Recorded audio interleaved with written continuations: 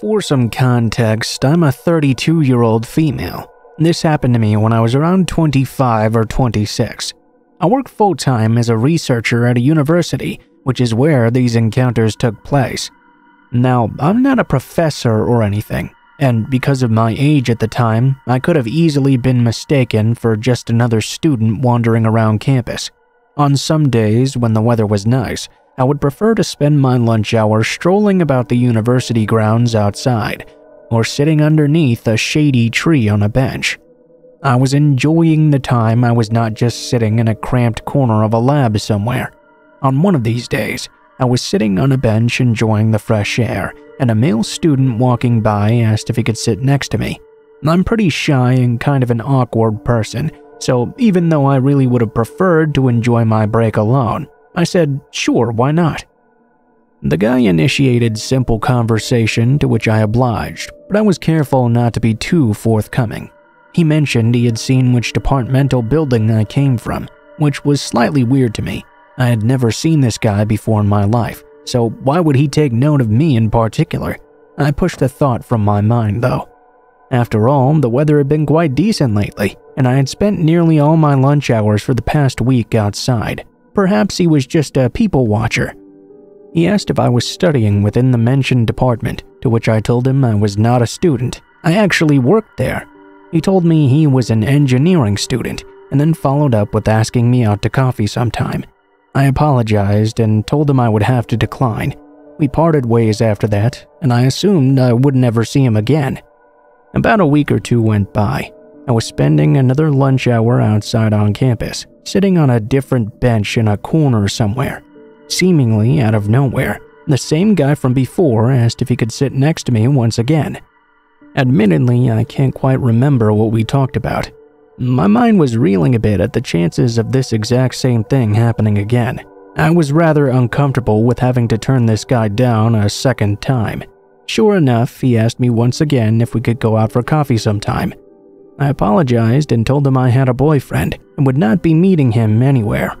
Again, he left without saying much else after. I was feeling rather anxious now, but it hadn't reached a level where I had to be too concerned about it. A few days later, I had just finished work and was leaving the building to walk to where I had parked my car. The university charged a fortune for parking passes, even if you were employed by them. I had always opted for the free street parking about a 10 minute walk away instead. My walking route would take me down several quiet residential streets with minimal car traffic. Even pedestrian traffic was pretty sparse on the busiest of days. It wasn't until I was about halfway to my car, down one of these quiet back roads, when I noticed someone was walking directly across the street from me, keeping a few paces behind me. I'd only noticed them out of my peripheral vision. I didn't want to flat out turn and stare to let them know I'd noticed them. Besides, it wasn't too uncommon to see someone else walking. I was just trying to be aware of my surroundings when walking the streets alone. I had to make a few turns coming up anyways. The chance they would be going the exact same way as me was very slim. But all the same, he did. He made every single turn I did, still keeping pace directly across from me, a few steps behind. I didn't want to look at whoever this was. I didn't want him to know I was aware of what he was doing. I quickened my pace a bit. I was approaching the first of two busier streets before I would reach my car. His pace quickened to keep exact match with me. That was the moment I began to panic. I was sure he was following me. After that, I started to full out jog to cross the first of the busier streets. He started to run to keep up behind me and was now on the same side of the street I was. I was nearly to my car, but I had to cross that last busy street and go about a hundred meters before I would be there. It was crossing that street that worried me the most. I often had to stop and wait a good minute or so before it was clear enough to do so. If that were the case this time, he would catch up to me easily. Somehow, as if the stars had aligned for me, as soon as I made it running to the busy street, I had a large gap to cross. I booked it as fast as I could, finally turning around once I'd made it through. I wanted to scream at the man who had been pursuing me. It was him. I could have suspected at first, but now it was confirmed. It was that same engineering student I had turned down for coffee those times. Why are you following me? I yelled at him from across the busy street. I just want to talk to you, he yelled back. I didn't even answer him. I mean, the answer was obvious from the start. I was certainly never going to give my time to someone who was following behind me and chased me for an entire kilometer. I kept moving quickly to my car, determined to get the hell out of there. I didn't even care if he saw which one was mine. It seemed he had given up on following me and didn't try to cross the road after, to my relief. I got home and broke down. I mean, worse things have happened to other people, no doubt, and he didn't have the chance to harm me, fortunately, but I was very shaken. I had some anxieties walking to and from work after. It wasn't long before a coworker and I would walk most of the distance back to our cars together. I even changed where I started parking for a time. A few weeks passed by since the incident, and I had not seen that particular guy around campus at all. I had started spending my lunches in the lab instead of outside. Occasionally, I would go to the student center to buy lunch instead. This one particular day, the food court was packed, almost shoulder to shoulder. I was standing in line at a burger stall when I heard a guy trying to get someone's attention through the crowd. I look up. There he is, waving to me, trying to push his way through the mass of people. I panicked. I started to cause a scene and yelled at him to leave me alone. His face dropped as people began to stare at him, and he slinked back into the sea of students. My heart was pounding, and I was shaking. I don't even remember if I ended up actually getting my food after. I went back to work, and from then on, I was even more focused on my surroundings than I ever was before. It's been five or six years since then, and I still do work there. I'm relieved to say I never saw him again after the food court, and I haven't had any other harrowing accounts on campus. I'm diligent about being aware of my surroundings, especially when I have to walk to and from alone. Funniest thing is, the guy never even told me his name, so I couldn't report an incident to the campus police or anything. All in all, I'm just glad I never saw him again. I can only hope he didn't do this to anyone else before or after me.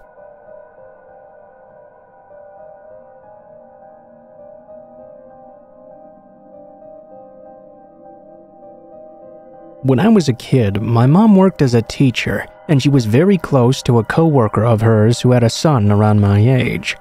I was very close with the son as well. When my mom or her friend would head out for the night, the other would take care of both of us kids. Basically, it meant I spent half my time over there. My friend spent half his time at my house as well. It was perfect and very fun for us kids. We lived in different cities, but since that kind of system had been going on since pretty much forever, I grew up knowing my friend's area just as well as mine. His mom was well aware of that, so that being said, whenever we were going on a walk in their area, she let us just wander around. She knew we'd always find our way back to her. My mom was more cautious and always kept an eye on us. She'd walk a distance behind us to make sure she was always able to see us. I wish her friend would have done the same. One day, I had to be around the age of six or seven, I believe. I was going on a walk with my friend Marcus and his mom, Katie. It was a very sunny day. I was wearing a dress embroidered with flowers and had my blonde long hair let down. I often heard I was a pretty kid even from strangers in the street, and besides making me and my parents somewhat uncomfortable, nothing bad had ever happened. During that walk, Katie was walking ahead of us, and I was chatting and fooling around with Marcus. At some point, he remembered something urgent to tell his mom. At least, something as urgent as can be possible for an eight year old boy. He ran right up to her and left me strolling around behind for a couple of minutes, just as it already happened a hundred times prior. This time, though, we were circling around this big camping site. We walked by all the big vans and camping cars. One of those vans, I noticed, had its back doors wide open, there was a man, probably in his mid 40s, smoking a cigarette and leaning against the vehicle.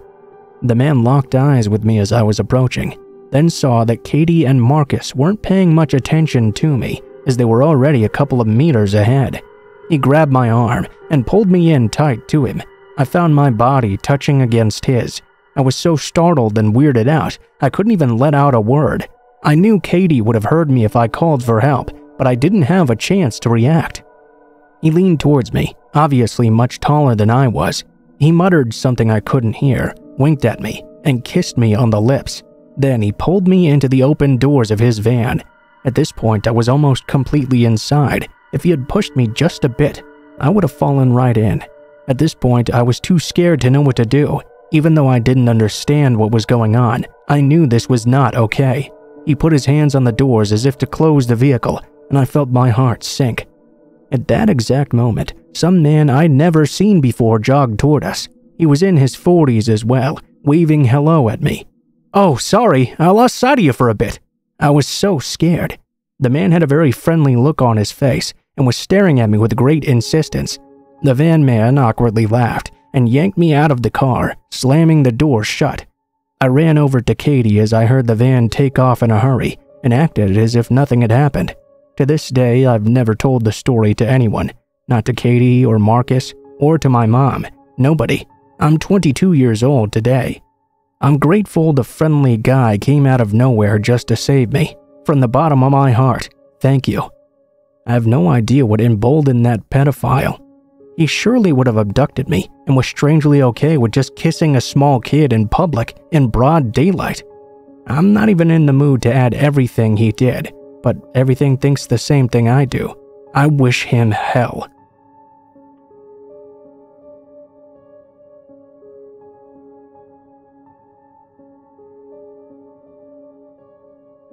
The quick backstory I've had a stalker for about four years now. He was never aggressive or sent me proper threats, so stubborn as I am, I did my best to just ignore him and not give him the satisfaction of showing him any fear. To be honest, after a while, I also wasn't really scared anymore, since he almost never came close to me. I know being stalked can affect people very severely, even in a case like mine, and that's totally valid. I guess I just got lucky because I was never really psychologically affected by it. His stalking behavior mostly just consisted of sending me letters and gifts, such as photos of my own apartment building from the outside, things he dug out of my trash can, and so on. I called the police many times, but they weren't able to or even really tried to catch him. About three weeks ago, I discovered the German version of IMA, I thought that people might want to know about what it's like to have a stalker, since I barely use any social media aside from Reddit and have no personally identifying information on there. I didn't think he'd ever see it. Like I said, he was never aggressive and had never come close to me. The closest I knew of was when he sent me a picture of myself unlocking my apartment door, taken from the corner of the steps above. I consider myself a very vigilant person I was thinking he might have hid a camera there instead of actually being there to take the photo himself. I don't know how he got wind of the AMA, but he did. The next week was quiet, no letters, and I didn't see him anywhere. Then he left me letters with printed out questions and my answers from the AMA. He also left me a long, hateful letter towards my boyfriend about an issue I had posted on a different subreddit. His letters were never hateful like this before, though he never did seem happy with my boyfriend. A few days later, I got a gift. This time, he didn't leave it in my mailbox or at my car like he usually did. This time, he left it inside the apartment building right in front of my door. I didn't take it inside, but opened it outside to be safe. It was a pretty big box. It was taped shut. As I'm typing it out, I realize it wasn't a good idea at all and could have ended very badly for me. Luckily, he didn't decide to send me a bomb or something. What he did send was several zip ties, a roll of tape, a TV remote with most of the buttons picked off, and a pack of band aids with a few used ones. There was also a framed picture of me. I could tell the picture had been taken just a few days ago. My boyfriend had been next to me, but his face was cut out of the photo. The frame was shattered, and the package was full of glass shards clearly more than just what could have fallen out of the frame. They were intentionally placed inside the crumpled newspaper that was stuffed in there to keep it all hidden. I called the police right away and gave it all to them. They were more concerned this time, finally, thanks, and told me they'd send patrol cars out more frequently. He didn't show up or leave me any letters for another week and a half, but eight days ago it started up again. I found letters in my mailbox where he wrote about how he'd wasted all his time on me how I hadn't been appreciating his effort, how he was wrong about me being special. Five days ago, I left my apartment in the morning and heard a crunching sound as I stepped on my doormat. He'd laid broken glass under it during the night. I went off for work because I was in a hurry. I was going to make my boyfriend call the police, but then I noticed my car had been vandalized. The sides were scratched, the lights smashed, and the windshield had a phrase painted on. It's time soon, miss. My last name. I went back inside and called the cops myself. They found the same phrase written on a note under the doormat. This time, they really, really took me seriously, which might have just been because I was absolutely pissed at this point, which I made very clear. If for some reason you're like me and too stubborn to be afraid of your stalker, then all this, the letters, gifts, and photos, even the damn glass under my doormat, are really just annoying and inconvenient. Now, though, with my car useless to me, that threat scared even me. I did have a dash cam on my car, luckily, and it caught everything.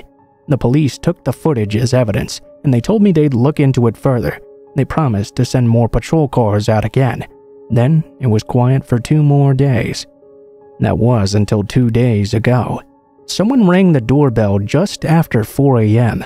My boyfriend and I got up, but were both hesitant. I saw blue lights outside though. Just as I got up, I heard them shouting, This is the police. Please open the door. They told us they'd been called by one of our neighbors downstairs, who came home from his night shift an hour earlier and heard someone else enter the building after them before the door fell shut. The neighbor went into his own apartment and looked out through the peephole. We have motion activated lights in the stairway, so he wanted to see what was going on. He saw a middle aged man walk upstairs. Above this neighbor were only me and my boyfriend, and a single mom with three kids, who probably wouldn't be getting any visitors at 3 a.m. They came and found my stalker one and a half floors above me on the stairs. He should have been able to see the cop car since there was a little window up there, and they had their lights on. I guess he missed them though somehow. They found a pocket knife on him, and he confessed to being my stalker right away. He was finally caught. They got him, it took four years, a provocative social media post, and a very vigilant and caring neighbor, but he's finally done. He's facing several charges, and I've collected every single piece of evidence over the past four years. I don't know what kind of outcome I can expect, but now I've finally got some peace.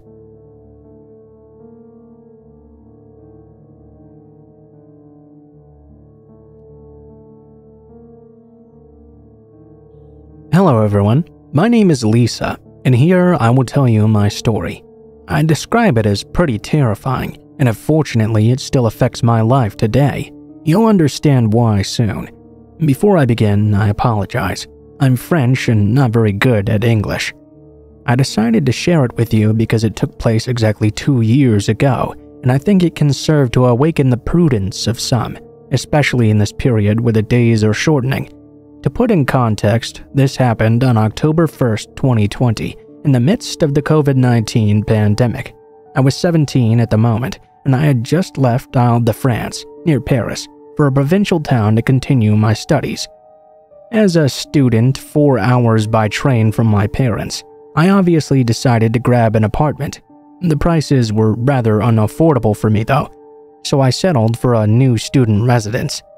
It was in the heart of a rich residential pavilion, contrasting with my small student residence. Everything was mostly fine. I'd go to school normally. Right from the beginning, the teachers told us that unlike students of other disciplines, we'd have lessons in person, not at a distance. We would be the only ones to be on this part of the campus. In short, the first classes were going pretty well, even though I had trouble fitting in like the others because of the masks and the nasty COVID. There was one black shadow. On Thursdays and Fridays, I finished at 8 p.m., which meant I returned to my little house at around 8:45. As you understand, I was alone on my way to school. On the week of September 21st to 27th, when I went to class in the morning, I met a strangely dressed man three times. He was dressed in black, wearing a hood. His face I could not really distinguish. What bothered me when seeing him was that he looked like he didn't fit in with the neighborhood at all. I wasn't really focusing too much on it though. Finally arrived the night of October 1st. As usual, I left the school, but unlike other days, I had to take the tramway about one hour later. I'd finally made a friend with who I'd discussed the timing of his bus. As usual, I waited there alone. Once in the tramway, I realized that just at this stop, there was nobody except the driver and I. I decided to sit in the four seat squares to make myself comfortable. At the next stop, which was still in the campus area, as I turned my head before the doors automatically closed, my eyes crossed that of a man sitting alone in black. In only half a second, the man rushed to the doors that were closing and entered the train. While the tramway was empty, he sat right in front of me. Intimidated and understanding this situation was quite suspicious, I looked away and out the window. The more time passed by, the more my instinct led me to believe this man had bad intentions. In my head, I began to develop a plan to ensure the person did not follow me when I had to get off. Once the tram arrived at the destination, I decided to leave at the very last moment, just before the doors closed. As I rushed to get out, I heard a cry from behind. I turned my head, only to see the man had wedged his fingers in trying to block the doors. They opened up again, then he began to walk behind me. This time, I was sure I was being followed. As I accelerated my pace, I heard the man do the same behind me. I could even hear his heavy breaths coming closer. It came time for me to pretend to be on the phone to scare him away. That in fact worked at first. Indeed, the man turned around when my phone rang. I later learned it was my friend calling to tell me he'd accidentally gotten on the wrong bus. I made sure he heard. I turned around and saw the man slip something into his hand. At this point, he stopped for a moment, then started to scream into the air and run after me. I was out of breath and rushed into a crossing in the neighboring part I threw myself into the arms of a random person and shouted, Great, you came to get me! At those words, they immediately understood the situation and returned my embrace. Before that, I turned just one last time. The man had suddenly disappeared. Once I was in my room crying, I thought back to that man and realized it was that same person I'd met multiple times earlier this week. I decided the next day to make a statement. During the day, I was called and told the surveillance videos of the tram had revealed the identity of the person. He was a wanted man for sexual assault and armed robbery. Apparently, he found great pleasure in assaulting rich girls to humiliate them before trying to steal them away. That's why he'd prowled in that neighborhood. Made my blood run cold, and I decided to just go home to my parents. Apparently, the man was found two weeks later in another city for assaulting a young girl in a store.